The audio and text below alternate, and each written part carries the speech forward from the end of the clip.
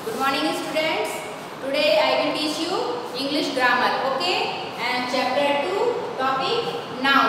आज मैं आज मैं आपको नाउन पढ़ाऊँगी नाउन के बारे में जानकारी दूँगी ओके आप डेफिनेशन पे आते हैं यहाँ पे noun what is noun noun is the name of person animal place और थिंग नाउन को हिंदी में संज्ञा कहते हैं हिंदी ग्रामर में हम पढ़ाएँगे आपको संज्ञा इंग्लिश में आपको नाउन पढ़ाएँगे ओके नाउन क्या होती है किसी पर्सन एनिमल प्लेस और थिंग को नामित करती है, ठीक है ना? उसको नेम नामित करती है। देखिए, इसको हिंदी में डिफाइन कर देती हूँ।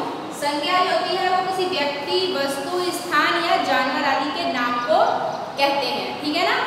देखिए, यहाँ पे जैसे एज राम, नाम आ गया।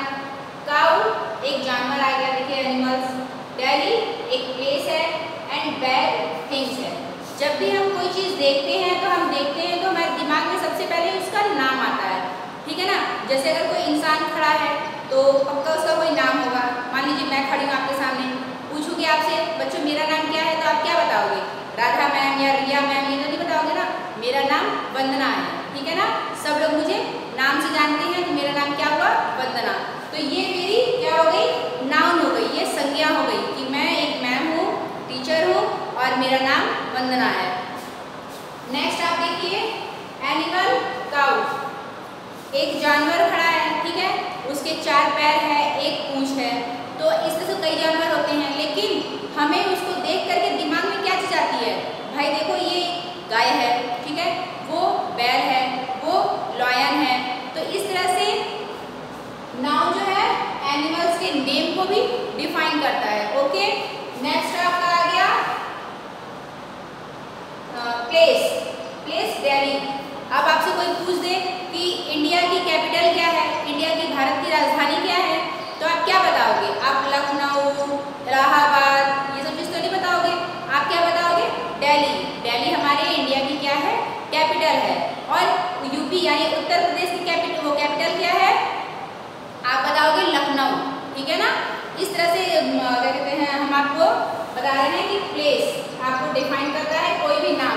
जैसे आपका दिल्ली हो गया, आपका लखनऊ हो गया, आपका इंडिया हो गया ओके ये प्लेस को डिफाइन करता है। नेक्स्ट एंड लास्ट आपका थिंग्स हो गई। कोई भी थिंग मान लीजिए कि स्कूल से आपको मटेरियल्स मिला तो आपको क्या मिला? आप कहोगे कि हमें बैग मिली, हमें बुक्स मिली, हमें आई कार्ड मिला टाई मिला बेल्ट मिला। घर में आपके क्या चीज़ें कोई पूछेगा बेटा व्हाट इज़ दिस तो आप क्या कहोगे? This is fan what is this this is my chair okay तो थिंग्स भी क्या है? नाउन थिंग्स को भी डिफाइन करता है।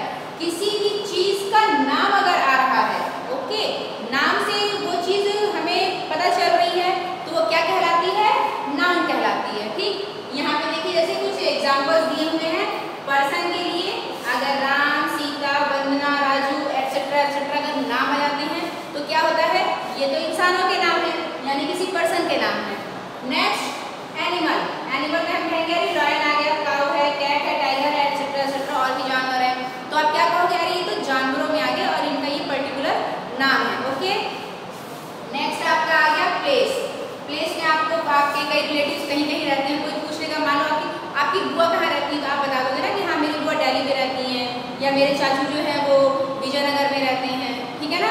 तो क्या होता है, ये भी डिफाइन करता है प्लेस को। कौन डिफाइन करता है? अपना नाउ डिफाइन करता है, ठीक है?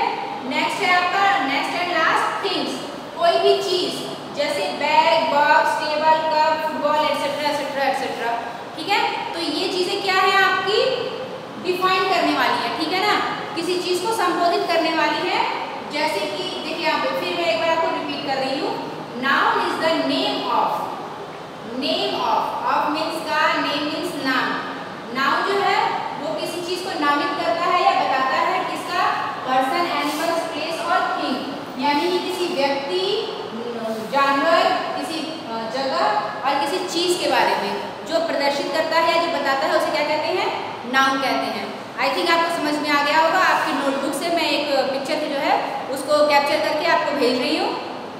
आप उसको जो है क्लियर करके मुझे बताइए, लिख करके बताइए कि वो फ़ोटोज़ जो बनी हुई हैं, उनके नाम क्या हैं, ठीक है? ताकि मुझे पता चल सके कि आपको कितना समझ में आया। और अगर नहीं समझ में आया तो आप अपने कमेंट कीजिए, ताकि हम अपने उसमें स्टडी और सुधार कर सकें ओके अच्छे से आपको समझा सकें।